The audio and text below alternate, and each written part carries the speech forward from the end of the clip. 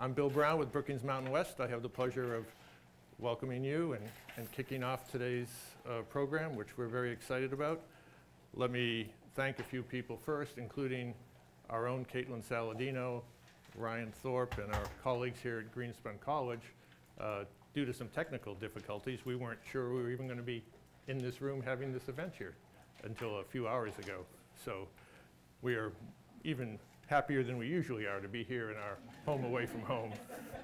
Uh, we have a printed agenda, which I hope you picked up, or we, or we can get you one now or on the way out, uh, with a lot of details. We, we're not big on long biographical lectures here. We want to get to the meat of the day. Uh, so we'll, we'll bring our speakers up pretty promptly and get on with our program. The, there'll be three presentations, and then we'll bring all the speakers up for a, a Q&A, uh, so you'll have a chance to react to what you heard, ask some questions, give us your thoughts as we launch Las Vegas in the middle class here at Brookings Mountain West.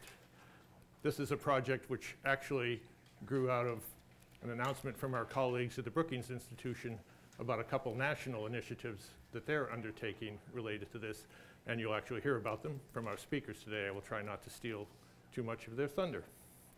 You might notice uh, the image we chose for the cover of our agenda.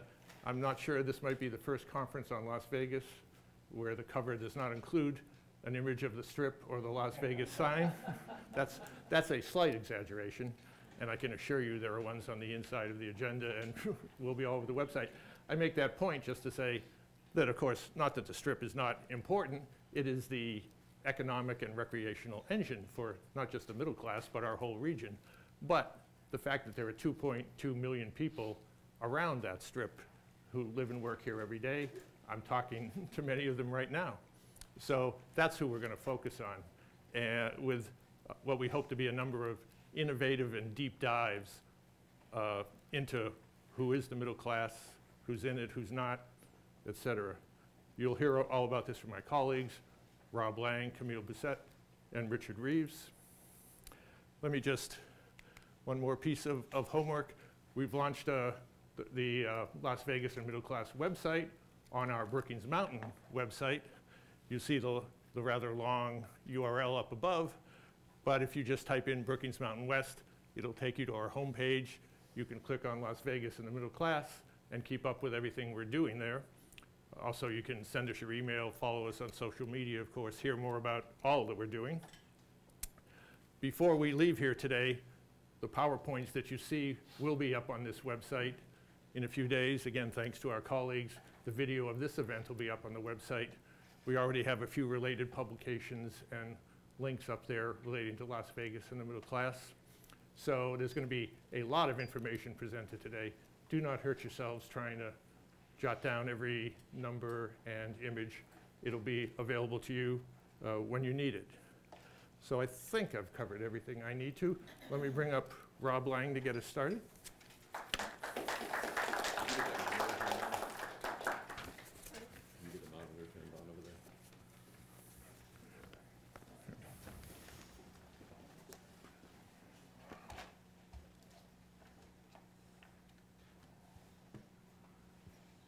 I know I can do it without it, but, oh, there you go.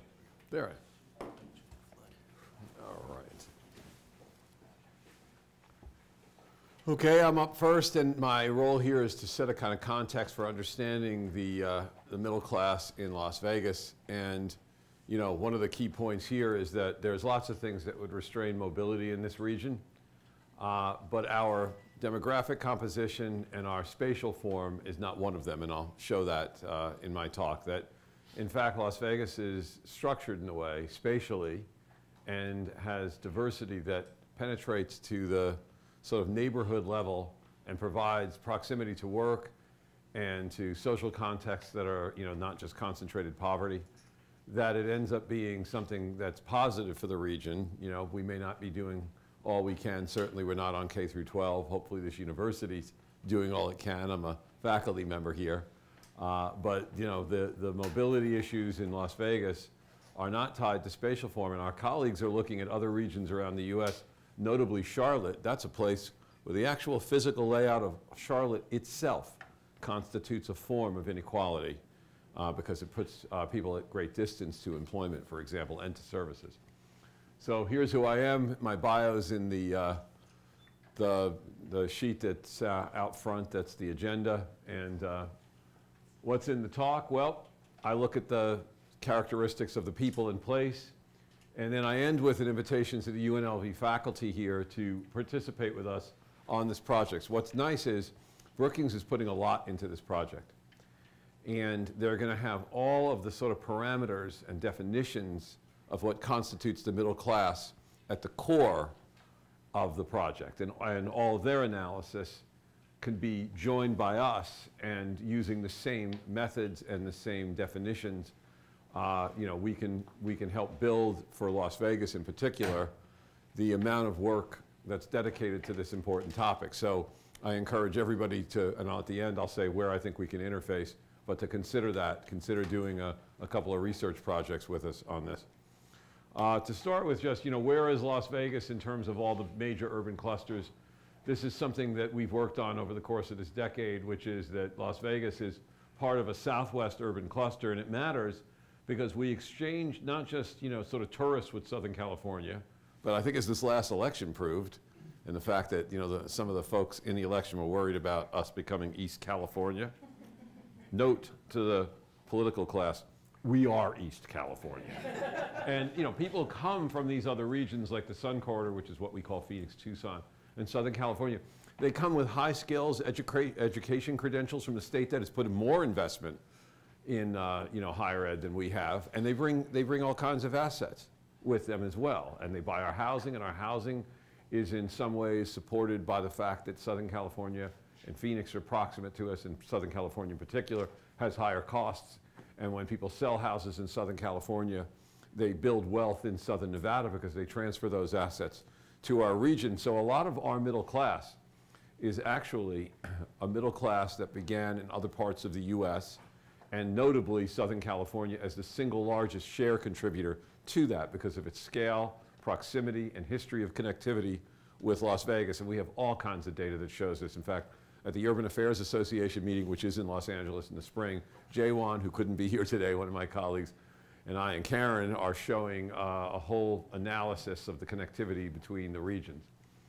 So I want to start with a, a, discussion on urban sprawl. I've been part of a team of scholars for the last two decades that have been looking at the characteristics of sprawl. And one of my colleagues at the University of Utah, Reid Ewing, took the trouble of creating a, a, composite index out of all of the sort of multiple ways you can look at sprawl like density or mixed uses or street accessibility. And so he's actually sort of done us all a favor because he put it into a singular index and then gave a score to it and creates weights. And as you know, this is quite a transparent document. He describes his methods. You may agree or disagree with it, but it's a great way to have a sort of thumbnail sketch of, of urban sprawl. And Las, Ve Las Vegas is actually fairly high density. We have mountain surroundings with slopes, so it's hard to build. We have federal land holdings, which do not permit us to build on, except for the share that they have already allocated to us in disposal area that is part of an agreement that goes back to 1998 to take some of that land and transfer it into the private realm. But it's actually fairly limited. And so, you know, we are actually pretty dense. You might have a lot of single family housing and it might be detached, but the lots are rather small. And so the actual physical space that this region consumes, considering it's 2.2 uh, 2 million people in the county, about 2.15 lives in one valley. And, uh, that, and that's the valley we're in right here. And the fringes of this valley are constrained on one side by a lake, we also have, a, and by mountains on the other two sides or three sides, we also have an issue of aridity, which is to say we can't build a kind of you know, sprawling metropolis like they do in the southeast because we don't have well water. Either you're on city water or you're not, and it's expensive to bring city water in from the lake, and the pipes and the plumbing, all, if to the further they extend, the more costly it is. So there's a constraint on the actual sort of physical dimensions to this region. It's something that I think is, is positive for us. It's not virtue on our part. We'd sprawl the hell out of the place. we just can't. You know, for obvious, first off, you're in trouble with the federal government, you know, and, and so on. The other thing is, we have a lot of mixture of land uses, which I'll discuss in a second, tied to the development practices that have been common for master plan communities. And we also have centering, and one of the dimensions of centering is where is your main employment center? Like in Chicago, it's the Loop, in New York, it's Manhattan, and so on. We have one of the most centered employment areas in the United States because we have a strip that's about four miles long and about a mile wide, and it's got the largest share of employment in the region by far. And most of the region's population is fairly proximate to that strip itself. And there's a lot of public transportation to the strip, not in the form of mass transit, which I'd prefer, but there's plenty of buses and paratransit and things like that. So it's accessible. If you have to work in a hotel to clean it, if you have to work in a hotel in a casino, if you have to work in support, if you do the gardening there, you can get to it. So those are positive kind of things for Las Vegas. And here's an index score, just to give you a sample of places around the country. The West in general is pretty high. Phoenix really loses. Phoenix is fairly compact. It's not as compact as this region, but its main employment areas are all suburban, like Scottsdale. And it has problems of mixture of land uses as well. It has much greater residential segregation from things like retail and from especially, uh, there's a pretty strong hierarchy of space in Phoenix where multifamily housing is nowhere near single-family housing, as is more common in Las Vegas. One of the reasons it's common in Las Vegas is we don't have the land to do it otherwise. And in Phoenix, they do have the land to do it otherwise. But when you look at the difference to the west, and you see, uh, you know, Houston, which ties Phoenix, but you look at Atlanta, and this is out of 100. So 100 is midpoint. So Vegas is really 121. So it's about 20% above the, the score index of the median.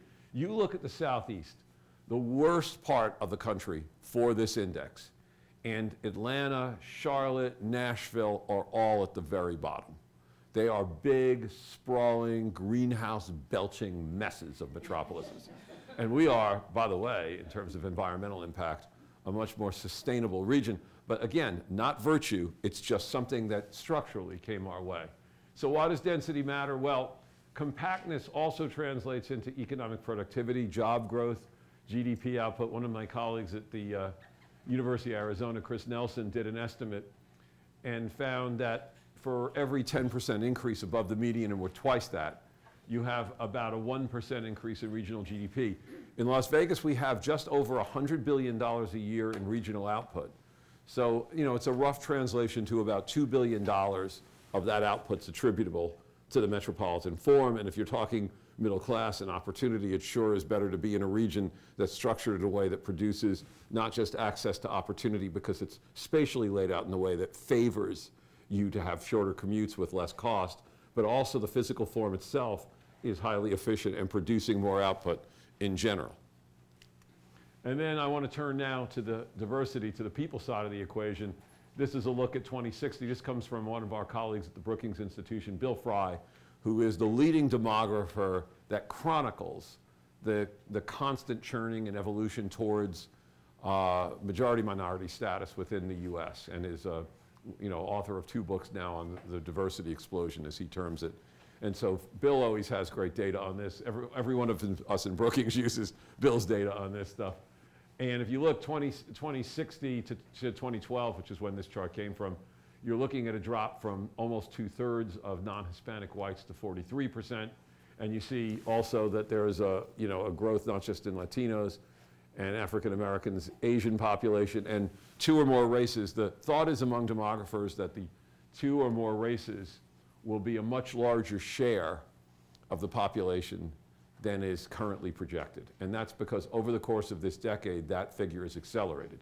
So if you look at Las Vegas, outside of Hawaii and New Mexico, which began as states with non-majority white populations, you know, they began as heterogeneous from the beginning. Las Vegas is just behind them in terms of the number of non-Hispanic white marriage outside of that group. In other words, that we have the most, uh, the highest number of people, and I think you can even see it on this campus, who are forming households and having children with multiple racial backgrounds. So the data on this right now, people are projecting out of our current categories. I think by 2045, which I put up here because it's the tipping point, it's at exactly 50% majority minority status. I think at that point, some of these categories will have been exploded by the 2030 census, the 2040 census, because they, they don't make any sense anymore. You know, they used to count Europeans all separately too. And then one day, in the middle of the 20th century, they realized the Europeans are no longer just Polish or Italian or Russian, Irish. They're all intermarrying to an extent that there's no way to categorize that anymore. I suspect by the mid 21st century, there'll be such frequency of marriage across races that there'll be a point at which the census can give you sort of proclivities or percentages, but can't delineate as cleanly as it once did in the early 21st century into racial categories. And, you know, I think that's something actually pretty positive. Uh, and then just by state, you know, you can see Nevada in 2016 was just below majority minority. This region's majority minority. Our younger population is certainly majority minority. The lower third of the US, or half of the US by 2060, is majority minority. You're really looking at the upper Midwest and, no- of course, Maine, you know. Anyone's been to Maine. It's because nobody's moving to Maine and no one's living in Maine, you know. So, uh, but the majority of the U.S., certainly all the Sun Belt, you know, outside of a few exceptions, is majority minority. Uh, and, you know, Las Vegas today, what's interesting is America 2060 is a great place to start the discussion on diversity because if you want to know what America 2060 looks like, it's actually Las Vegas right now. Because our region matches the approximate projected shares by percentage of each racial and ethnic category out past the mid 21st century. And you see it in this university.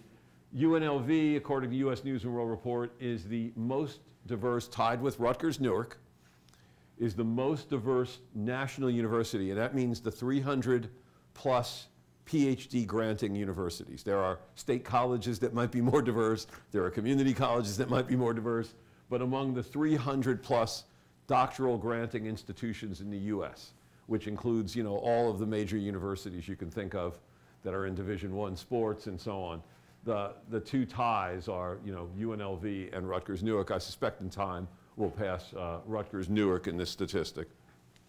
Now, I want to turn to uh, a series of maps that colleagues of mine, I used to be at Virginia Tech prior to being here, at the University of Virginia, which I actually knew the, the folks that did this and encouraged them to do it, did an analysis where they found, uh, you know, population by racial category and represented it in a, in a single dot as far as the majority in that one census tract and produced these wonderful maps that showed, you know, what a mosaic the United States is. They have national maps. They still have a lot of this stuff up on the website. The uh, Washington Post loved this stuff and reproduced it. And this map's actually, the Washington Post kind of improved on the graphics as sort of weak as these graphics are. Part of it's an artifact of the analysis. When you see Vegas, it's going to look a little washed out. It's because it's not vibrantly segregated into enormously disparate racial blocks that it's that way, unlike, say, Chicago. So Chicago is representing, say, the Midwest. You see uh, the red here is white, north of, the, north of the downtown on the lake versus south of downtown, that there's a clean color line in Chicago. And part of that is that, you know, older parts of the United States developed early 19th century, early 20th century, when racial covenants were permissible. And it was struck down in the mid 20th century by the Supreme Court. And then finally, with the passage in 1968 of the Fair Housing Act and the enforcement uh, and some of the enforcement tools of the Fair Housing Act, which you know put teeth in it, you see that post 1968 America looks different than pre 1968 America. Well, a lot of the Midwest is pre 1968 America. And so, even though these lines are no longer legally enforceable, they represent historical patterns that have replicated nonetheless, and you still see large blocks of difference. And you see, uh, by the way, uh, you know, uh, a kind of more than neighborhood scale. In other words, at the neighborhood level, you have large, sort of monolithic dominance by individual races, whereas, you know, maybe in other places that's not true. But it's also true, Chicago, like Washington, has a pretty clear racial line. It's actually down 16th Street. That was west of 16th Street was whites only. East of 16th Street was not restricted. And so a lot of the region, and you see it follow out into the suburbs, Prince George's County, Maryland has a very large and middle class mostly African American community. The west part of the region from you know, Northern Virginia to Montgomery County, Maryland is whiter or more Asian now. And so Washington DC looks like another version of Chicago, which looks like another version of Cleveland or Milwaukee. The starkest color line in the United States is actually uh, Detroit, Eight Mile Road. So the north of that is white and south of that is African American. And then here's our region. And again, the lighting here sort of slightly throws off the, the vibrancy of this. You see that there is, there are to the west part of the city and the southern part of the city, whites at the fringe, like in Summerlin and in, uh, you know, in parts of Henderson. But what you see is that the majority of people in our valley live in the parts of the valley where you have mostly mi- mixed race at the neighborhood scale, where you know the dots are the different colors and they're proximate to one another. And if you know, I'll just go back one second now that the lights are dimmed slightly. Look at Washington D.C. Look at the whites in what's called Ward One of Washington D.C. And then you know, look at Chicago. My God, there are enormous, nearly monolithic blocks of separate population. You look at Chicago, Washington, it's a little bit more muted. Uh, the center of Washington is a little bit more muted. And then you look at Las Vegas. And by the way, Orlando looks like this. And a lot of the Sun Belt looks like this. When they first did the uh, pattern here, there are cities like Norfolk that look better than average because they had the military in them. And the military from the mid 20th century forward uh, has been integrated. And so, you know, the Navy, which is dominant there, the diversity that's reflected in, you know, who's in the Navy, and the fact that it's based, you know, that your hierarchy is based on your rank you achieved, not on the race to which you've been ascribed, you know, uh, means that it carries over into the neighborhoods. In the case of Las Vegas, again, this is another instance where it's not our virtue. It's that the region developed past a point when you had, uh, you know, legally enforceable mechanisms that prevented large concentrations of singular racial blocks in development. And uh, the reasons for the contrast with the Midwest, again, 68 Housing Act. Also, our style of master plan community development actually mixes income and land uses. And part of that is, and people who live in master plans know this, at the center of master plan communities may be larger single-family detached dwellings. But as you go to the main arterial roads, you get a buffer of multifamily housing that's immediately mixed in, and then at the arterial roads proper, you have retail. So there's a pattern of development, and whole big chunks of, of southern Nevada have been built in a form dominated. Most of Henderson is master plan communities. So, you know, the, uh, you know, the second largest city in the region by population, the second largest in the state of Nevada as well, has been built mostly in a way where there's been an emphasis placed on, you know, not mixing income because, again, this is some sort of super progressive place and people wanted to do it. It's that the housing types made sense where there was exclusivity in the center of the master plan to a kind of larger, you know, single family home, still on a relatively modest sized lot because of land constraints. Then you went out to a mixed income product, a mixed, uh, you know, uh, uh, uh I should say, multi tenanted, you know, attached apartment dwelling, you know, multifamily housing, and then finally out to retail. And I show this, this is the Oasis Sarah apartments. These are modest two bedroom apartments and not far from this are some of the, you know, sort of more expensive six, seven, eight hundred thousand dollar homes that you find on the west side of the city. Just in contrast, you know, I'm, I, my accent may speak to this, but I'm from New York and New Jersey originally, in the Garden State of New Jersey. To get an apartment like this near a single family house, somebody had to sue the state and win two rulings, Mount Laurel 1 and Mount Laurel 2. When I was in grad school, Rutgers University was responsible for coming up with your proposed allocation of uh, multifamily housing for these towns that had exclusive. All, there are towns in New Jersey where 100% of the housing stock is single family detached. And they zoned it that way. And the zoning itself was preventing any form of mixed income development because it excluded multifamily housing. Somebody wanted access to better schools in the suburbs, and she claimed discrimination on that basis, and she won two court cases in the New Jersey State Supreme Court. In, while this is going on in Jersey, they're just building this stuff in Vegas. Why? Market, market means land constraint and practice. It just happened to make sense. Now, why is this important? What does this matter for class? Well, what we know from the research, and, and it's led programs like the HUD Hope 6 project, is that it's better to have mixed income uh, projects and, and land uses uh, than it is to have these monolithic blocks like you see in Chicago. In fact, the Gautreaux program in Chicago uh, was an effort to break up some of the South Side's, you know, monolithically African American neighborhoods. And so this idea is that it helps lift people because your networks become more enriched by being in these neighborhoods. You're more proximate to, to jobs. There are regions in this country where most of the employment is at great physical distance from the majority of low-income and minority households. And to do that means that the, the burden in time and transportation costs is an additional impediment towards advancing to the middle class. And again, happy to report, we may have problems in Vegas, and we have plenty, and we've cataloged many of them in this room. But it's not that we're built in a way that our mix of people and place is something that does not restrain our development. Now, what we can conclude is that we have this densely built form. It's good for economic development and for uh, economic output. We're diverse, and we're not just diverse where we say we have these mixes of folks that look like America 2060. They're probably living closer to where they'll live in America 2060 in that they're not segregated by neighborhood. They're next to one another. And if you're next to one another, you benefit from one another's networks. If you're next to one another, you marry people who you're next to. You become familiar with them. You, you don't buy all the sort of craziness about, oh my God, you know, people who are different than me are somehow scary, which has been some of the politics of this country as of late.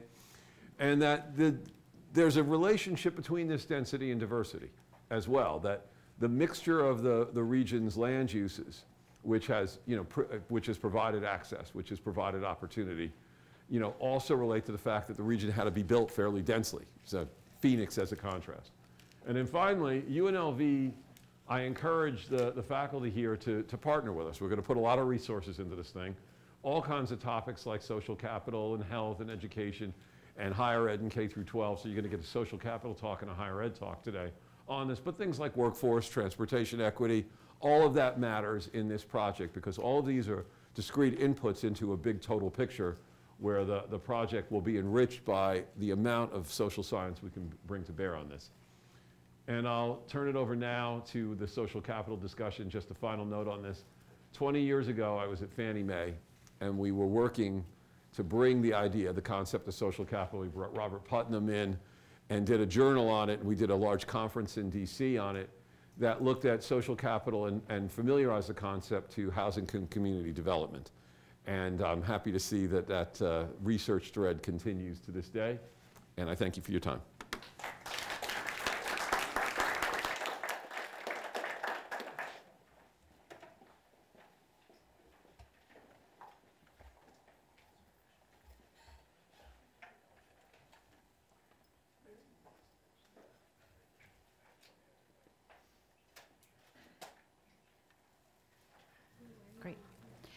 So um, I want to start off by just thanking uh, Brookings Mountain West, Lincy Institute for having me here today. Um, I'm absolutely thrilled to be here and really, really excited about the possibility of working with my colleagues here uh, on projects that have to do not only with the future of the middle class, but also in general around generating mobility enhancing social capital.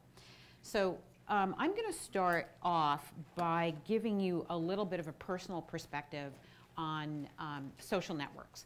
So I am a first generation American. My uh, father was from Trinidad and my mother from the Dominican Republic. And their two personal stories around social networks are really different and led to really different uh, um, professional outcomes for them. So let me start off with my mom. So my mom grew up in the Bronx uh, during the Depression one of five kids. Her father uh, worked uh, three different jobs, her mother did not work. Um, but she went on to get a BA at Hunter College in New York City, and then uh, all but dissertation at NYU, and then went on to do additional coursework in international affairs, um, also at NYU. And uh, because she was black, Latina, immigrant, and a woman, the only uh, kinds of career opportunities that were open to her were social work. So she went into social work uh, because she spoke Spanish, and it was a, that was where people with her profile went.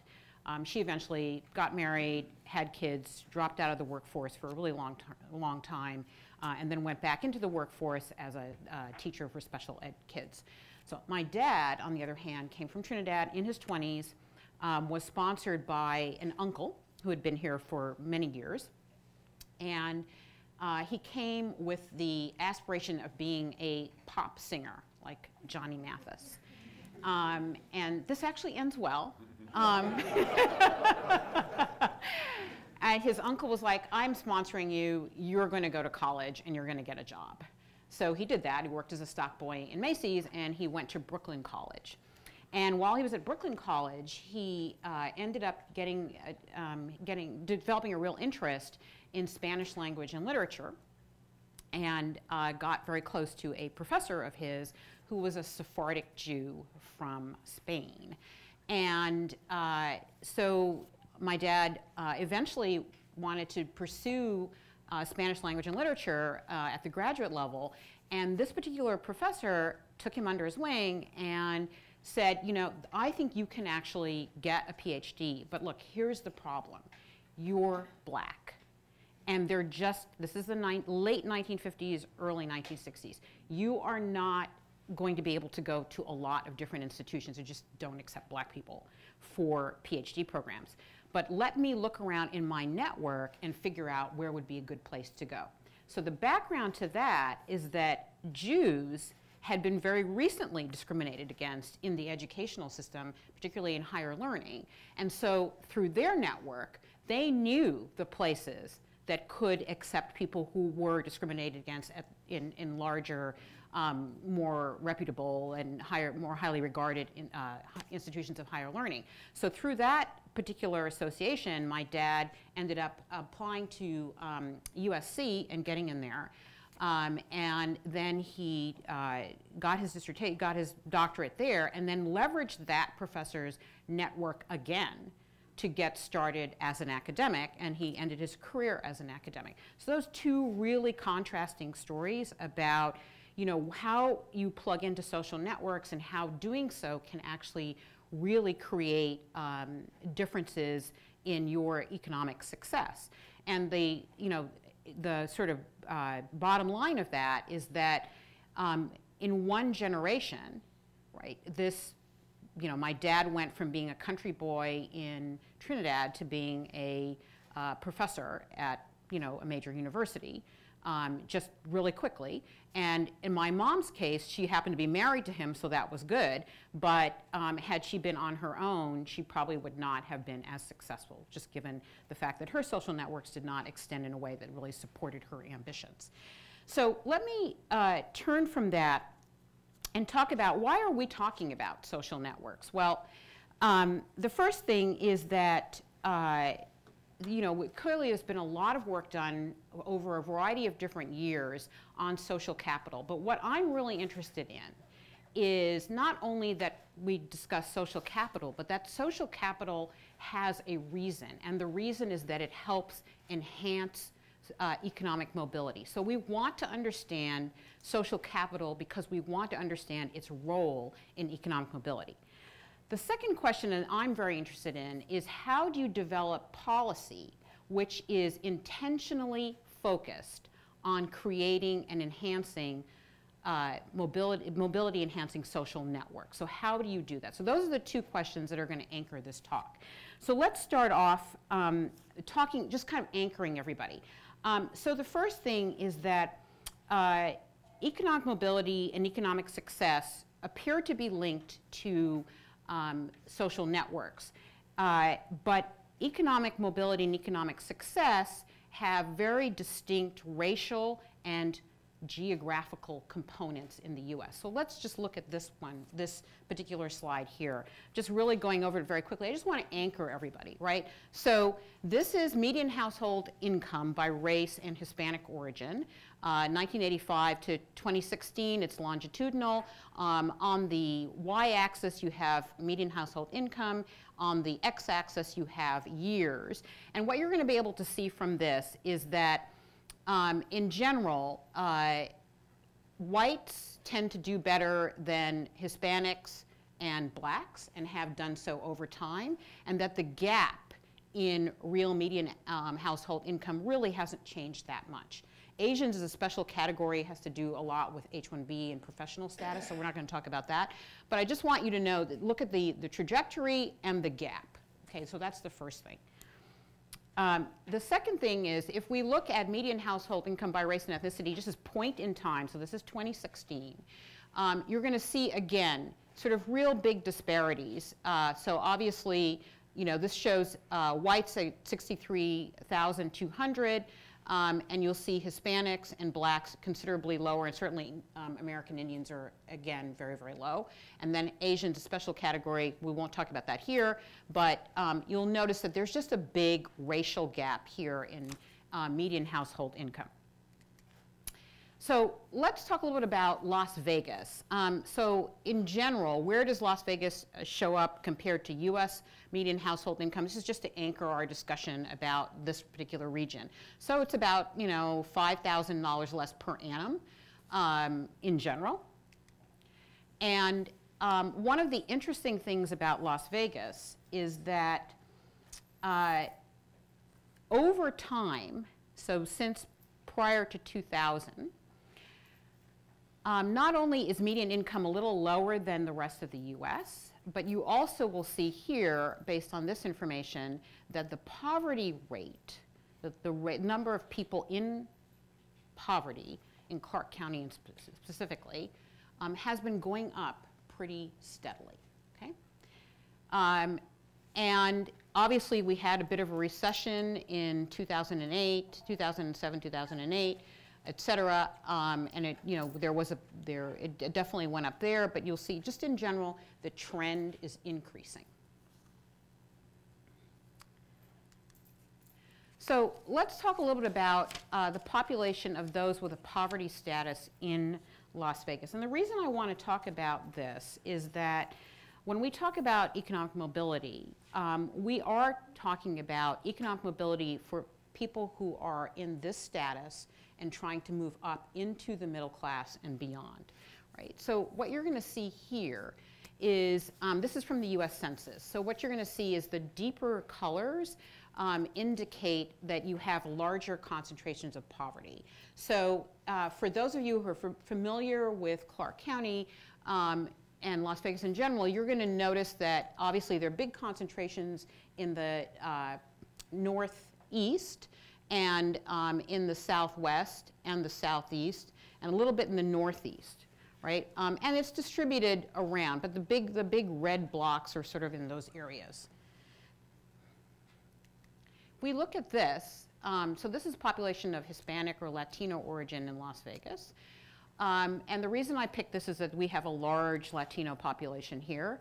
Um, we're going to see that there's some overlap between this and the poverty map before.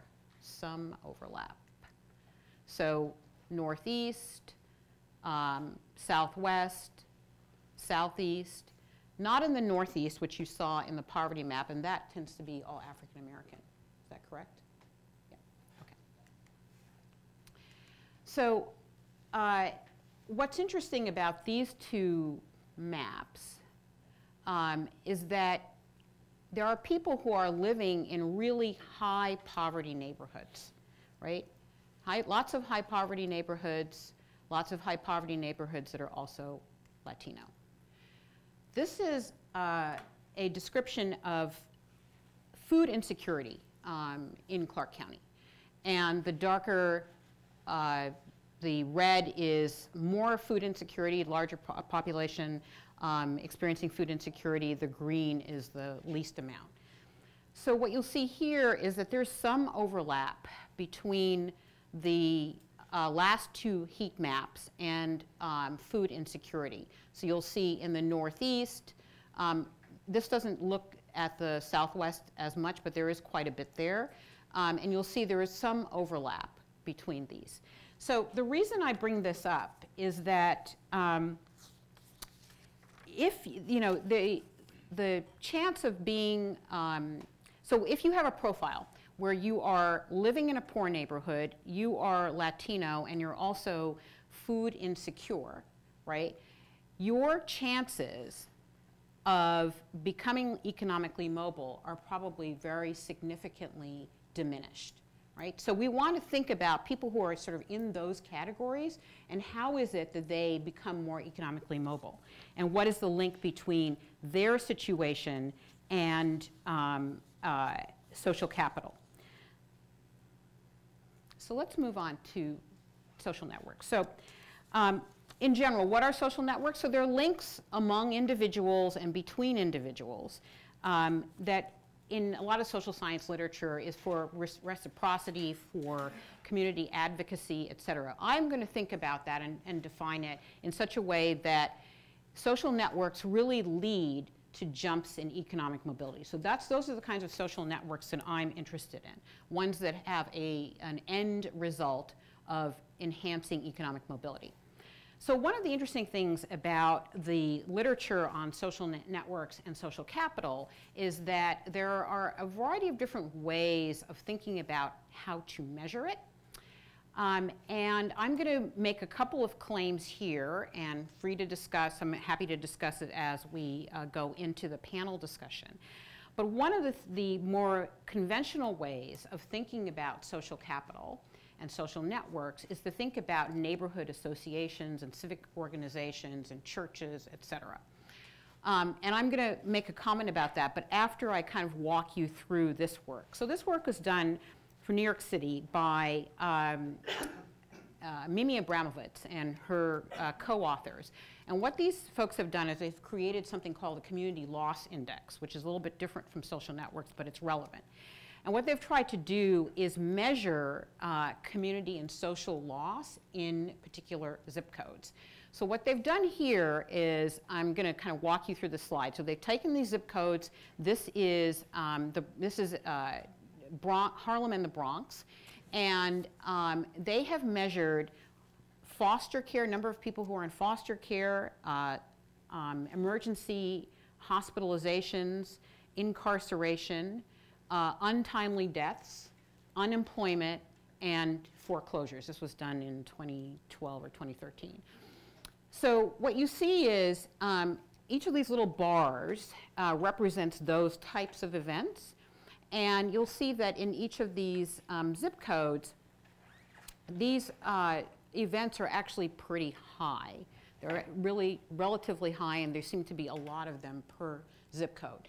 So what is the relevance of this to social networks? So if you think about foster care, hospitalization, incarceration, untimely deaths, and unemployment, when you think about way social networks work, which are typically links among peers, adult peers, that help uh, generate advantage for the younger generation what you're going to see here is that due to these kinds of events, these, these loss events, that you are missing a lot of links in that chain. A lot of generational links, a lot of intergenerational links. So one thing to think about when we're thinking about social capital and specifically mobility enhancing social capital, capital is what is the importance of generational intra and intergenerational links. So if we look at, this is the same study, um, Flushing, Queens, same sorts of events.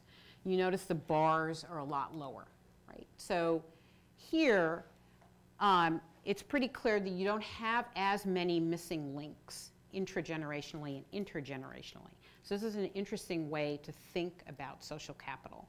And it's something that isn't captured generally when we think about the more conventional ways of measuring social capital. So this is the more conventional way of, of measuring social capital. This is from the Penn State Index. Um, so basically, what these folks have done is they've, they've counted up, um, you know, number of, of associations, political, um, civic, uh, religious, that, those sorts of things.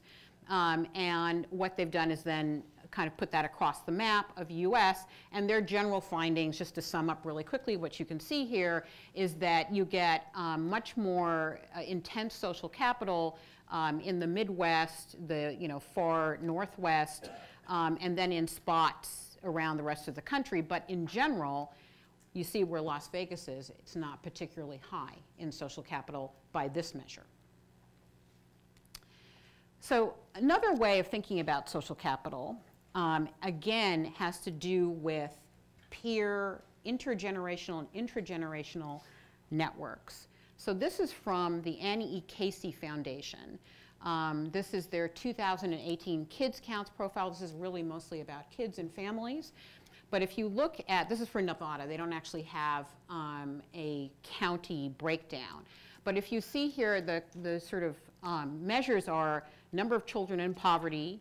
Um, I'm just going to re read down here. Children whose parents lack secure uh, employment, children living in households with a high uh, housing cost burden, teens not in school and not working, so those are kind of measures of economic well-being, but they're also measures of the degree to which parents can link their children to opportunity, right? And so that piece is kind of low in general here in Las Vegas, in, in Nevada. And then again, if you look at education, here you see young children, um, so these are preschoolers who are not in school, um, it's relatively high uh, fourth graders not proficient in reading, eighth graders not proficient in math, high school students not graduating on time. So what you're getting there is a, um, a reading of what happens when you have the situation above, right? So this is again another way of thinking about social networks is how is it that adults in a household are able to create um, uh, some escape velocity for kids, right? And so this is another way of thinking about it. So what I want to end with here is um, a little bit of a discussion about uh, what do we think about policy when we think about um, social networks, right? So if we think about enhancing social networks, what are we talking about? Are we talking about increasing uh, the number of people who are in church associations or religious associations or who are in advoc advocacy organizations, um, who are in big sister, you know, big brother organizations. One of the things I think we should be thinking about is how do we lever policy to increase the links between generations and make sure that we, there are no, the, the sort of missing links that we saw in the Bronx and the Harlem measures, that those are really shored up. And I think that is an important area for public policy to focus on when we're thinking about enhancing social, uh, enhancing um, social networks. The second area is links to the mainstream economy, right? So when you look at these measures, what you're seeing here is there are sort of broken links or uneven links to the mainstream economy. And again, I think that is an important dimension of social networks and particularly mobility enhancing social networks. And I think that is another area where we can focus on, focus policy uh, specifically on increasing those links securely and making sure that they're sustainable links with the mainstream economy, both for children and for adults. So I would say that, you know, given Rob's fantastic presentation um, earlier, uh, Las Vegas in particular has a kind of profile where it is actually possible to think about creating and strengthening those inter and intra-generational links because you don't have a lot of the um, sort of spatial barriers that you'll have in other places. Um, and it's also an important place to think about how do you create uh, social networks that link people to the mainstream economy and given, you know, and really securely, so there's no food insecurity, et cetera, do that really securely because given the general diversity uh, here in Las Vegas, I think this is a place that could probably be one of the pioneers in figuring out how to create policy that really levers and enhances social networks. And so I just want to um, end by saying that I'm really excited about being here. I'm excited about the possibility of working on this topic here in particular, and I'm really excited about the possibility of working with my colleagues uh, here at Brookings Mountain West. So thank you very much.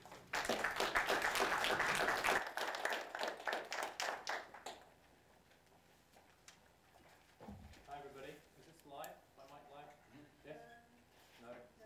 No? Oh, you can, can everyone hear me?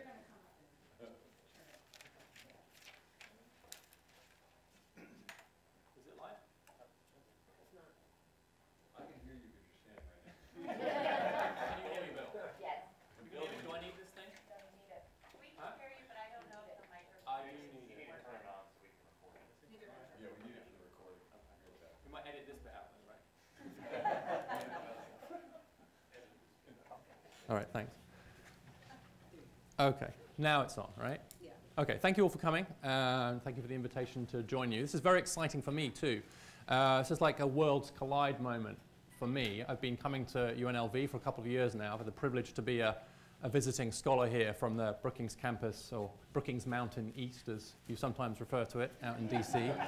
um, yeah, the, the other Brookings, you know. Um, and which has been, and I've formed some relationships with some of the scholars here, and obviously with Brookings Mountain West. Uh, I've also had the privilege of working with Camille uh, in her new project, which is one of the most exciting things that's happened at Brookings in the last few years, which is the Race, Prosperity and Inclusion Initiative. And uh, then lastly, I've been asked uh, to lead a new initiative at Brookings with support from Camille and others on the future of the middle class. Uh, and today really is about bringing all of those um, elements together. So it's hugely exciting for me personally to be here. Uh, I should say, for those who haven't heard me speak before, that there's a certain apology to be made, which is that I go around lecturing Americans about social class with this accent. so just to get it out of the way, yes, I'm British by background. I am now a US citizen. Some of you may have heard me in this hall. Actually, I pulled out my US passport to prove that I'd become a citizen just in time to vote in 2016. And part of my defense, as well as being a citizen, is that we know a lot about class where I come from. So I know a bit of what I speak. Um, uh, so the Future of the Middle Class initiative, which um, is only been launched this year, uh, is still in the relatively early stages, but I can say a little bit about it. The first thing is that uh, it's been motivated by the new president of Brookings, General John Allen, and our growing sense that the plight and the position of the American middle class is a huge issue for us as a nation, but also a huge issue potentially for the world, because the geopolitics of the world now mean that if you have a group that is suffering or feels like it's being left behind, being forgotten, that can have consequences for how people vote in terms of trade policy, immigration policy, and so on. And so this is, and I'll come on to that um, briefly. We've decided to um, focus for the first couple of years at least on four themes, two of which you've already heard about and one of which I'm about to talk about. The first is the issue of relationships, or relational equality. And by that, we're talking about the social capital that Camille just talked about, but also about respect. M mutual respect across race and class lines. A, a truly equal society is one where we can all look each other squarely in the eye. And in that relational equality, I think we find a lot of the substance that underpins the other kinds of equality that we need. Without relational equality, without equality of respect, it's very hard to get the other kinds of equality that we're interested in, equality of resources and rights. That's one. The second theme is automation and the impact of automation. I won't say any more about that, except to note that my room service at the hotel I stayed in was by robot. That I was actually able to order something using, a, a, obviously it's fun, it's, you know, it's partly a gimmick, but I was able to kind of press a, a button on my uh, the pad, keypad in my room, and a robot turned up with my order. Um, so I don't think anything's going to be immune. So we're doing uh, to potential threats from automation and potential opportunities from automation. The third theme I will talk about today is skills, with a particular focus on post-secondary skill acquisition, including two-year and access and uh, high public access four years. Doesn't have to be four year, but it's quite clear that sustaining a middle class income and a middle class lifestyle requires, increasingly requires, quality post-secondary education, and so the affordability and access of post-secondary education will be a huge issue for us. And then fourthly, housing, uh, which Rob has already talked a bit about. Uh, and that strand of work will be led by a colleague from the Metropolitan Policy Programme, Jenny Schuetz, um, starting in January, and thinking about the affordability and access uh, to housing for, in particular, for the middle class. So those are the themes that we're going to be focusing on more broadly, but um, we're also going to be partnering uh, with uh, a metro. Today announces the uh, engagement between the main Brookings project and Brookings Mountain West to make Vegas somewhere we think about the middle class. The middle class is created, sustained, and strengthened in place. The evidence that place matters causally for mobility and for middle class outcomes is growing by the day. And many of the policy levers that we're interested in will be at a metropolitan level. And so the extent to which metros are middle class makers is a hugely important issue for us going forward. This is not something that can generally be done from a federal level, drop down on high. This is making and sustaining the middle class is done in the thick of daily life and it's done in metro, metro areas. And so it's with great pleasure that we've announced this partnership where we'll be looking at some of those themes with a specific focus um, at Las Vegas. We also hope to have a state partner, but we haven't quite announced that yet. So what I'm going to focus on today is um, skills, but I'm just going to very quickly go through the motivation for the project generally. Who are the middle class? Why do we care? Why are we worried about them? How education can be a great equalizer? How education can be a great stratifier? What that means for access and outcomes? And then how colleges can serve and build the middle class in Las Vegas. I'm going to try and do this with apologies reasonably quickly because uh, I want to leave some time for Q&A. So we're running a little bit behind, so I'll, I'll do this fast. Well, the first thing to note is that there seem to be as many definitions of the middle class in the US as there are people claiming to be middle class in the US. So I'm a recovering European on this question, still struggling. And so this is from a paper that I wrote with a colleague, Katie Guyot, and simply just giving you a sense of there are lots of different ways, even just if you're defining it by income, to define the middle class. So if you read a newspaper report which says middle class X, middle class shrinking in, middle class hollowing out. Always, always figure out what definition they've used because the definitions vary quite significantly and have non-trivial effects on the result. Um, when you're thinking about the middle class. We've been talking about this a lot. Camille is on our steering group, so she's been through too many discussions about how to define the middle class. I apologize in advance.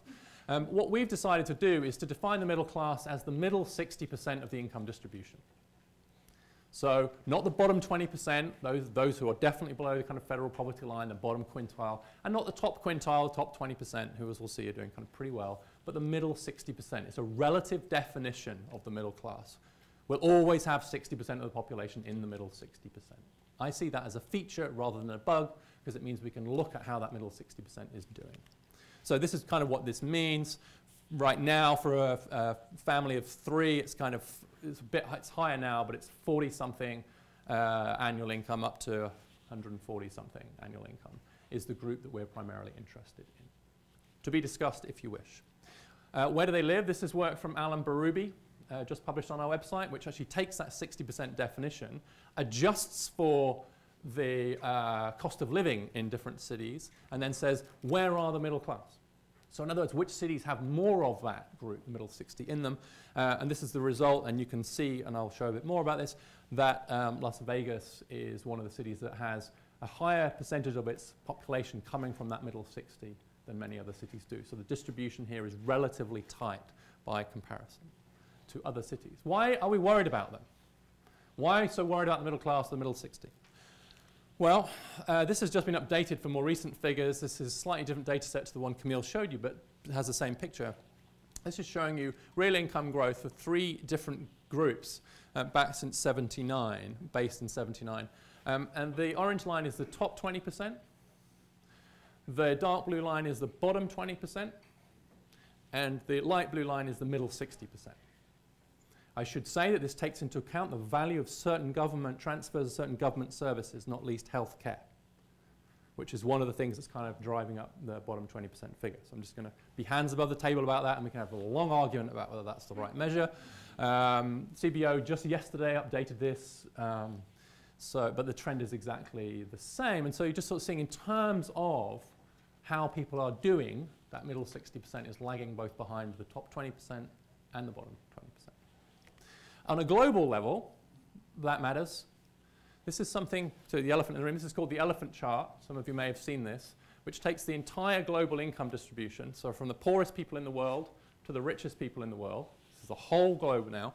And then we look at real income growth um, between 88 and 2008. So it doesn't include the recession, it runs up to the recession.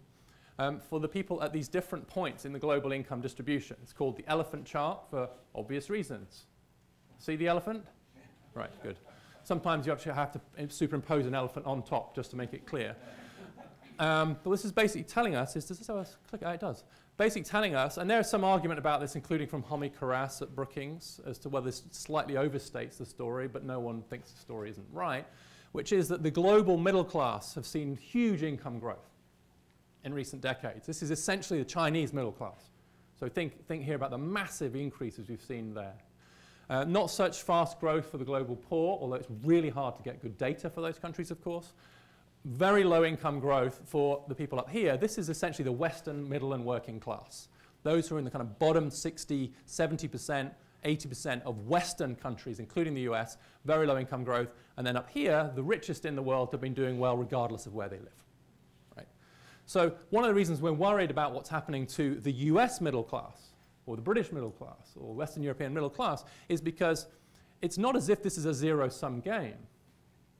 But it's possible to make an argument that, look, all of this global trade has created fantastic economic growth for people living elsewhere, but not such great economic growth for the middle class closer to home. And you can imagine what the political implications of such an argument could be. In fact, you don't have to imagine it. We're living it. Um, so it has global geopolitical consequences. Now, I'm going to talk about education briefly, and there'll be more work coming on this. Some of this summarizes work I've done before, and some of it anticipates some work I'm in the process of doing, which is first of all to say that the idea of education, in particular post-secondary education as the great equalizer, is a hugely important part of the American story. Horace Mann, education is the great equalizer the balance wheel in our social machinery. And, it, and, and, so it is. This chart takes a little bit of unpacking. This is based from Raj Chetty's work using IRS data. But what this is telling me is the parent's income rank from, so I know what your parent's income is, from the poorest to the richest over here. I know what your income is, from poorest to the richest the left-hand axis. The grey dots show me the relationship between the two for the whole population. Huge relationship between how rich your parents were and where you end up on the income distribution. But these are the lines I want to focus your attention on, which I'm apologies, the labels come off. These are the lines for the people who attend elite four-year colleges at the top, four-year colleges, oh no, they are still there, I'm sorry, and then two-year colleges. Now, the fact that the lines are quite high, at least they're here, tells us that getting four-year, and especially an elite four-year qualification, significantly pushes you up the income distribution. You're going to do better. We know that. We know there are returns. And the same for two-year to a somewhat lesser extent. The fact that the lines are flat or almost flat tells me that even if you're from a poor background, say you're down here, roughly this is roughly the federal poverty line, conditional on going to and through one of these educational institutions, your outcome's not very different to a rich kid who went to one of those institutions. So conditional on going to and through, post-secondary education is the great leveler the great equalizer. That's the good news. Um, I've just put up this chart on community colleges because I want to focus on the fact that the two-year line is lower. Okay, it's obvious, but if we just briefly look at who two years are serving, you want to talk about first gen, uh, parents who didn't finish high school. These are proportions of those in these categories that go to a, a two-year versus a four-year. So if neither of your parents finished high school, then if you go, you're going to go to much more likely to go to community college. So they are serving, by definition, uh, because their access institutions are different group. Now for the bad news. I've shown that conditional on going to and through, through these educational institutions is a great equalizer. Here's the problem. Same data set. Parents' income rank along the bottom, from the richest, so the poorest to the richest parents. Left-hand axis, the percent of kids from those households attending college between the ages of 18 and 21. So you know how sometimes social scientists put up one of those scatter plots with dots everywhere, and then they put a line through it, and you're, you're squinting at it, saying, really? Is that really significant? Well, they have put a red line here, just as a courtesy, but I think you'll agree we don't need it. Um, and this here tells me, I've got 0.67 correlation, that I can predict your chances of going to college between 18 and 21 just by knowing your parents' income with two-thirds accuracy. I don't need to know your GPA. I don't need to know where, you where you live, where you school, what your race is. Right? I don't need to know. Just tell me how much money your parents have got. And with two-thirds accuracy, I can predict whether you go to college in those years, not mature students. Big caveat. So great equalizer, in theory, to and through. Trouble is, there are so few kids from poor backgrounds going to and through, especially elite institutions. Where do the middle class go to college? So this is stuff that we're still working on. You can see, look, there's a little bit of a glitch there. Um, lowest quintile, bottom 20%, top 20% of those who go to college. Right, just showing you that a lot don't go. Of those who go, the modal institution for the middle 60 is a two-year institution, followed closely by a public four-year described in the data as non-elite. So a public, a more public access four-year. That's where they go to college. Meanwhile, the people over here who, who dominate the news, they're the ones going to elite four years, etc., and not going to two years. So that's where the middle class go, and then obviously the lowest quintile even more. That's why access matters, but also outcomes matter too. So I'm going to give you an example of uh, historically black colleges. Historically black colleges are very good mobility enhancers. They have fantastic results, but they do so primarily because of their access. So what this shows you is for all colleges and universities and HBCUs, what percentage of their students come from, now I'm going to look at the bottom quintile, what percentage come from the bottom quintile, and then of those who come from the bottom quintile, how many make it to the top quintile? So that's a very radical mobility measure, but it makes the point. And the point is that if you're in a non-HBC university, you can say, look, our out, the outcomes we have for poor kids are better than the HBCU outcomes for poor kids. Missing out the fact that they don't take that many poor kids by comparison to HBCUs, which is almost certainly having an effect on them. So it's a combination of both access and outcomes that drives mobility. And that is too often lost in the story. Lastly, how can colleges, this is just the beginning of this piece of work, um, how can colleges serve and build the middle class in Vegas? Well, let's show some data. Some of this I've shown before, which is now by the parent's income quintile, what does the composition of different institutions look like in terms of what students go to these colleges? So let's start here with UNLV where we get, get a pretty good sense of it. And you're kind of seeing you know, non-trivial numbers from the, 60, from the middle 60 here. Reno, by comparison, nearly half their students come from the top 20% of the income distribution, many fewer from the middle 60, and, and similarly from the bottom. And then you've got College of Southern Nevada, and Nevada State College, which actually they are taking somewhat more from these lower income quintiles, but not so dramatically different to the four-year and UNLV as you would see in other cities. So these are high access institutions we're looking at here on the left-hand side of this chart. Now, what are the outcomes? Well, the individual income for someone who comes, graduates from UNLV is 41,000, 41,500, and from Reno it's 45,000. So they're doing better, at least as far as it looks for now. And I presented some of this earlier. But this is the household income of where the students come from. And so when I look at the gap, but when I'm looking at what's happening here, what we're interested in what institutions do is taking kids from middle class or poorer backgrounds and giving them middle class futures. And in terms of the translation, UNLV looks quite good, at least on this measure. Just, I'm not going to go into this, but this is the same for uh, a bunch of Mountain West institutions. And again, just to kind of make the point that you're going to be looking at, so Colorado State, yes, 45,000 outcome for the kids, but look at median incomes to the parents. Okay. So you want to be, what we want to be looking at here is the extent to which you're kind of getting decent outcomes here, even from relatively modest inputs here. That's what we're interested in, translation. Okay. So having gone through all this, our next step is going to be to examine the trends in socioeconomic and racial composition of Vegas colleges, so more of what you just saw. Um, I want to develop a new measure for colleges as a middle class makers. So not just this bottom to top quintile, but think about middle quintiles um, using new opportunity insights data, some of which I showed before. Look at policy options, um, have a paper, hopefully an event in March, um, as well as work on social capital and housing. And so just to add to Robin um, Bill's call, please, please get involved. And thank you for your attention. Now we'll switch to the panel.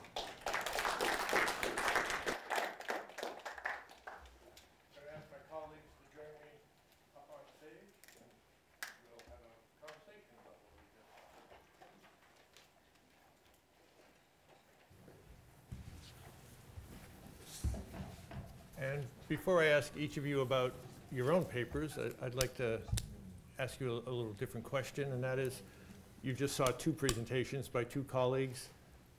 Was there a, an aha moment in one of those where you saw something new or different, or something that affirmed something you'd been thinking about a lot, or sort of a takeaway you got from either of your colleagues?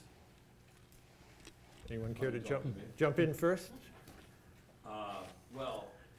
You know, the, the state's been emphasizing the growth of higher education. We have a system office that's been bad-mouthing UNLV, saying we're not succeeding, throwing our president out, who now is the president at Claremont Graduate School.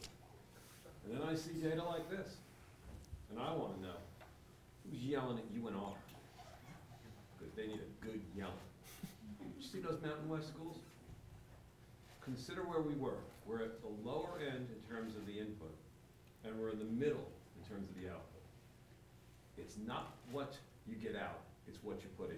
If you go and cream all the upper middle-class kids out of all Southern Nevada, and then hand them a credential, where at thirty-four, if they married somebody of equal credential, they wouldn't match their parents' income, is not a success.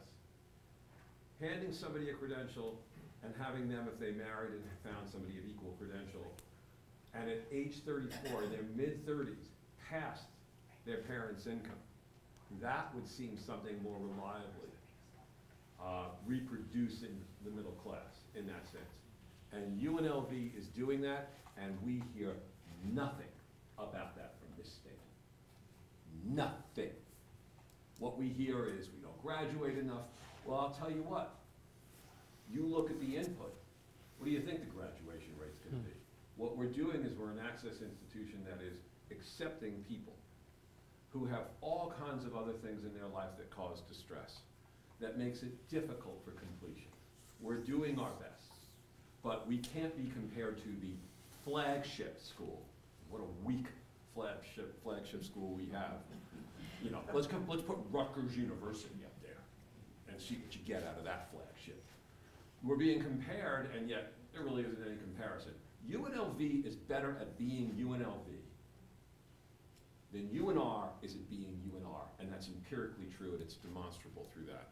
So what I see, what comes to me out of this data, is that if you're gonna create a mechanism for upper middle class mobility within this state, put more into UNLV, because it's more reliable at delivering on that promise. Would you care to follow that community? Well, welcome to UNLV. Yes. So of course I'm going to say something about UNLV, but I think uh, you know Rob has put it very nicely. But I, I, it's very very clear that UNLV is very important in shifting um, the curve that we saw that linked parents' income to you know actually going to college, right? And so I think it's clear that UNLV plays a very important uh, role here in, in Las Vegas. The other thing that I wanted to, to mention is um, in Rob's presentation, I really thought the um, slides and discussion on mixed income neighborhoods uh, in Las Vegas and sort of the history of that, I think was very, very interesting. And um, I think it also uh, may, means that there are, there's a lot of potential for policy that uh, can end in upward economic mobility. So I, I'm, I'm actually very encouraged by that. So I was struck by, in Camille's presentation, it's clear that when we talk about social networks or mobility enhancing social networks, which is a phrase I love, it's just incredibly hard to measure. I was really struck by the attempts that those scholars um, you mentioned had, had made to kind of get at it indirectly, in a sense, Right. which is because it's just so hard to measure directly. Are there proxies for it, such as you know the things you mentioned, incarceration, um, foster? So it's just a, a reminder that whilst we know how important these networks are, they're just incredibly difficult to measure. I do just want to say something in response to Rob, though, because I don't want to be misunderstood here. I am not saying by any means that completion doesn't matter or that in any way we should be letting up the pressure on completion. All I'm doing is I'm saying that there is a balance to be struck between who you're serving and what the odds of completion are. And that you need to put both of those factors into the equation if you're fairly to judge an institution. So no one's going to be happy if we just have this completely open access institution that graduates 5% of its people with a mm. worthless qualification, right? And so I do want to kind of just make sure that that is clear, that I'm in no way trying to take the pressure off around completion. I'm just saying it's a trade-off. And if you're interested in the overall numbers of people you're trying to help, don't forget the access piece as well as the outcome piece. It's dead easy to have good outcomes, if, as, as you say, Mm. um, if you just let in only a very handful of, handful of people. And the last thing, this is Sara Goldrick, Goldrick Rab's phrase. She's a scholar in college. She says, actually, public access institutions need to stop talking about having college-ready students. And instead, what we need is student-ready colleges. And the mm-hmm. more open access you are, the more you need to be a student-ready college. The idea that people are just going to write pre-packaged, ready to go, ready to learn, good, you know, etc., is for the birds or for the elite colleges. Mm-hmm. And so, actually, being a mm-hmm. student-ready institution is something I think needs to be put alongside the emphasis on whether the individualized emphasis on college-ready students, for all the reasons that we let me just add that. one thing regarding that. Uh, What I'm referring to about completion, yeah, completion is necessary or you don't achieve the goals that you're, you're Right. after. Right. But we're talking about comparison to relevant peers. And we're going to do a piece that finds our peers as the diverse institutions that you find in comparable sized metropolitan areas. And among that group, we don't perform poorly. We don't, we're not at the top, we're not at the bottom. And what I meant by UNR in that regard is that uh, we can't be compared to UNR's completion rates. Compare UNR's completion rates to the University of Oregon. Compare the University of Connecticut to similar sized states and to their so-called flagships. And in that, they're not performing very well. Nor are they performing well in R&D, I might add, either. In that they're the only institution between a state two and four million that is the flagship, that is not a Carnegie R1 institution. So they are flat out dead last in that regard. So they're not just failing in terms of their ability to deliver a completion. We, on the other hand, look more mixed. You know, I wouldn't put us at the top of the pack. You know, I mentioned Rutgers Newark as, an, as a diverse institution that, uh, you know, that matched us in that regard. They're doing better. New Jersey does better in terms of delivering that. So as a state, we're failing, and it's reflected in the two leading four-year institutions within the state. But among those two four-year institutions, I wouldn't put all the function, you know, the focus on the dysfunction at UNLV and never even mention UNR in that regard. UNR needs to be a lot better flagship institution, so-called. And we need to be matched against the university, you know, that you'd find in every big city. So we're, we're not University of Central Florida, which is excelling as an Access Plus, mm. Oh, yeah. you know, leading research mm-hmm. R&D institution, and Orlando's a comparable size city. We don't look unlike Portland State. We don't look like Cle- unlike Cleveland State. We don't look like the University of Missouri at St. Louis or Kansas City, which are the actual true peers to our institution. So what we're going to do is we're going to come out with a report that matches us against true peers. And in that report, completion matters, as it always does. R&D matters, of course, as it does, because R&D's capacity within a region lifts all boats. If you've got more, you know, R&D and you've got companies connected to that, that's the ladder of mobility for people who receive advanced credentials in particular. So, you know, all of that's in the mix, so I don't mean to shortchange it, but I just want to note, that's a metric that this system, this talk's never been given to the system office. This, as far as I know, the system office doesn't know anything about this. This is a talk that needs to be given to the system office, and both schools ought to be held to account on. Let me get a little nerdy here, try not, try not to go too deep, but start with you, Richard, since you just spoke. Uh, Student debt's a big issue nationally, people worried about that. Nevada actually has a relatively low amount of student debt. I think it's just over $14,000 would be the, the average. Only two other states are lower than that. Uh, The state is trying to put more money into scholarships and getting students into the institutions. Will that help? Um, yes, it will help. We should be making sure that the price of less public investment in four years is not higher costs for the students attending. Um, I will say that there's a distinction between the real economic barrier, the economic costs of college versus the returns, the benefits of going to college against the perceived ones. And I'm somewhat concerned now that the debate about student debt and is college worth it, um, and a lot of the stories that go around of these people you know, with huge debts and so on, actually is missing the mark in terms of the experience for most students. So there are people with huge amounts of debt who went to elite colleges who are going to be fine.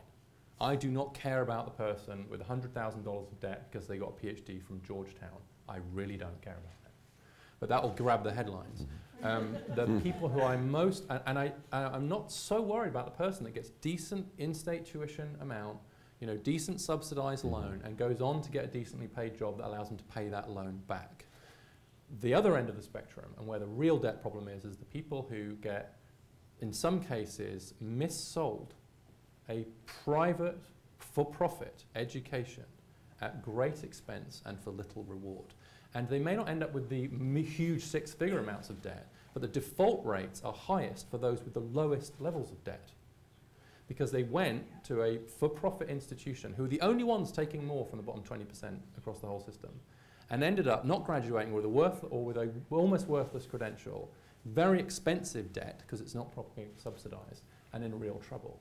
And so the for-profit sector is a huge problem in higher education in the US. And one of the first things that the new administration did was to undo the steps that President Obama had started to make to regulate the for-profit sector in college education. We are building a new subprime market by selling and mis-selling uh, debt for worthless uh, uh, educations in for-profit colleges. The problem is not by and large in public four-year colleges. Not to minimize it, but I don't want people to get the message, oh, is college worth it? Because in a public four-year, you bet it is. For the vast majority of people, you bet it is. So the scare stories worry me. Camille, let me ask a question, and see if I understood. One of your data points was, was the growing poverty line in mm-hmm. Las Vegas, and it mm-hmm. was on a fairly consistent trajectory, mm-hmm. even through the Great Recession. And we were ground zero for the Great Recession among American cities, highest foreclosure rate, highest unemployment rate. The, the recession didn't super increase unemployment and, and Right. those kind of factors. Uh, Is there an explanation for that? It, we, I'll let you try that. Well, you know, I mean, that's, that's, that's interesting, and, and it's true that you didn't get like a big spike up there, but what I think is interesting about that data is you also didn't get a slope downward after the recession ended. So to some degree, what you're seeing, you might be seeing a persistence based on what happened during the reception, re- recession. And what I, what, the most important point of that is that the economy is doing really well now, and we're still, that, that trajectory is actually, was moving upward. And the mismatch between the national economy and that level, I think is really worrying. I mean, and, and that's the main thing. So, you know, if you relate that to economic mobility, what that means is, you know, large chunks of the, you know, population here in Clark County are really imperiled in their ability uh, to move up uh, economically. Okay. You invited us to be nerdy, so I'll just uh, add a nerdy point to that, which um, Camille's chart was showing the number of people uh, who are poor.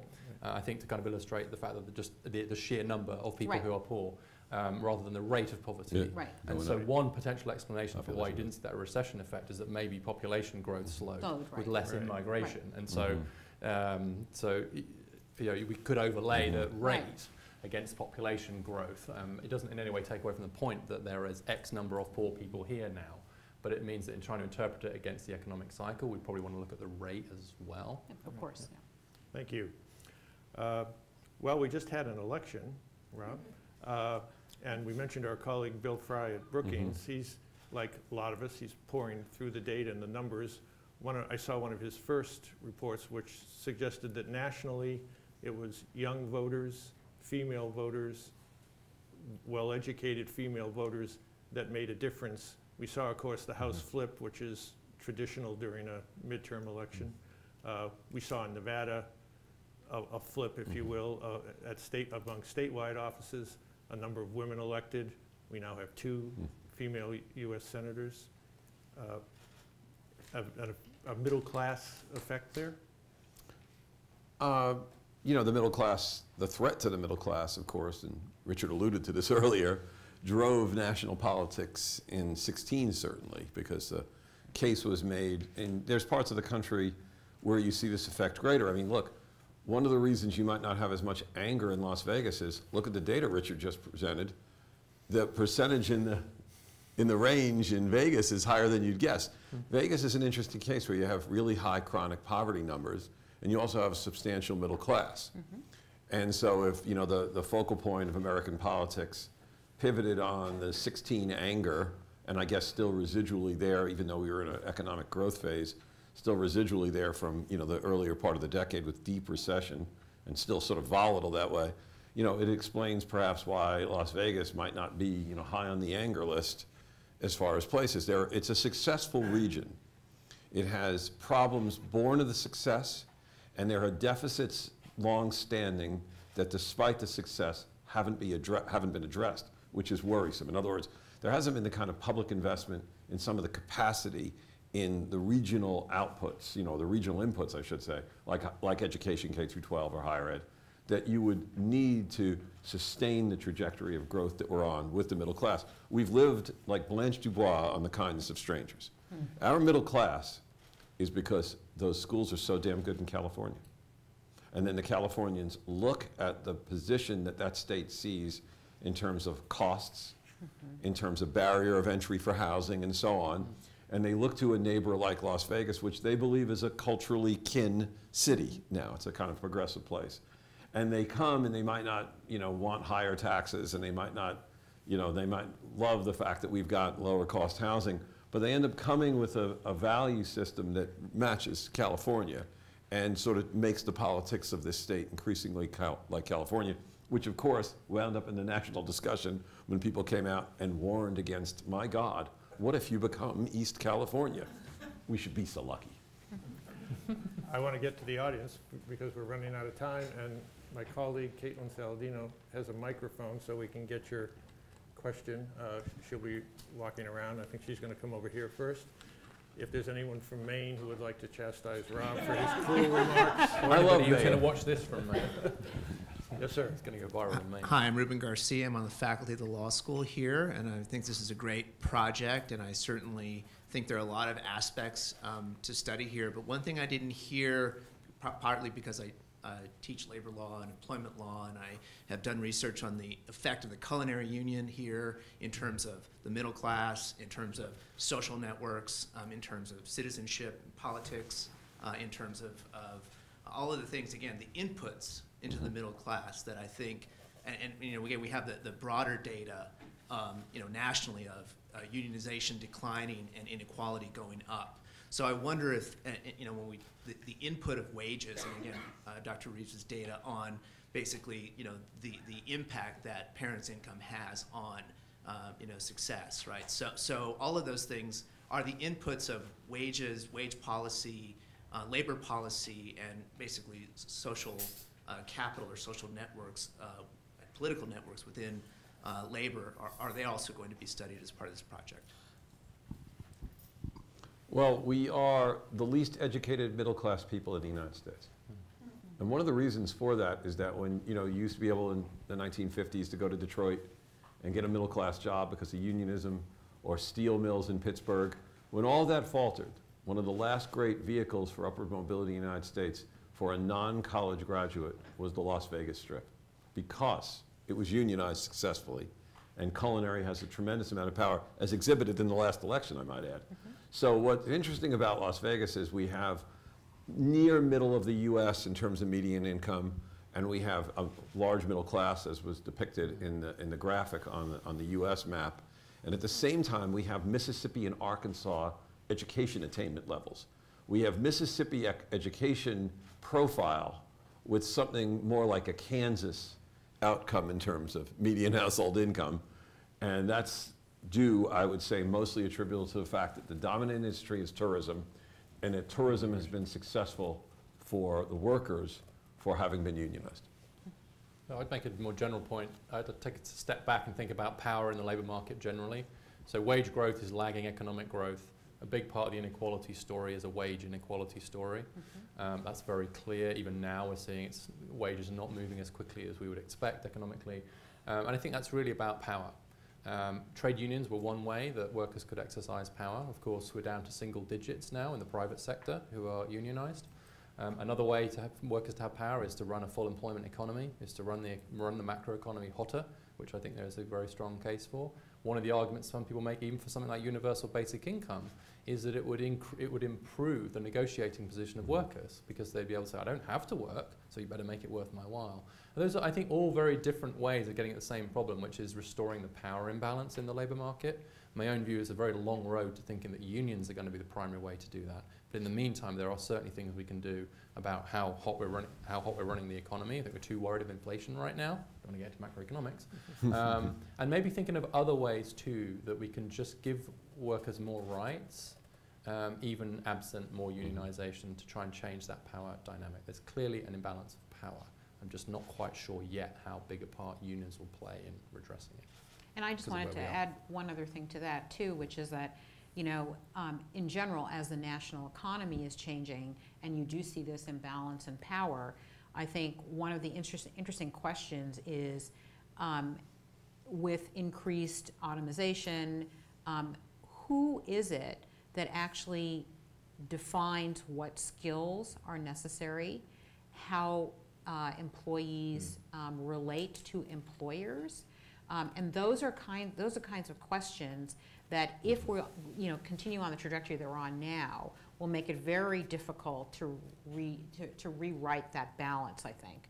And it'll be interesting to see how that happens here in Las Vegas, which is one of the last strongholds for unions.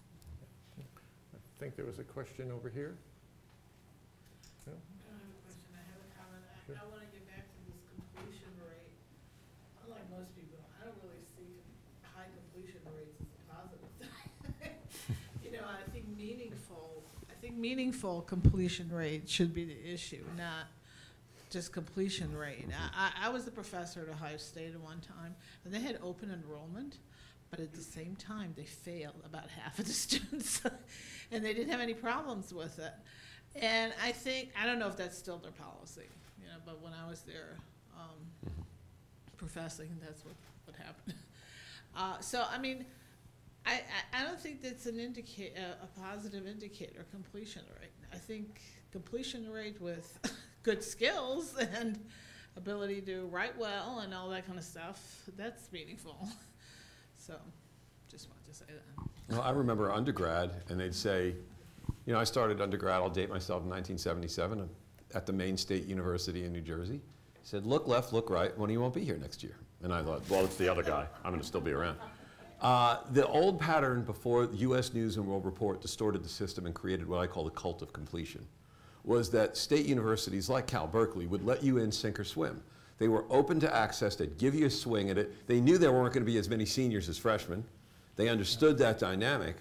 And then what happened is US News World Report favored uh, completion, and private schools want you to complete because they need your money for donations later on.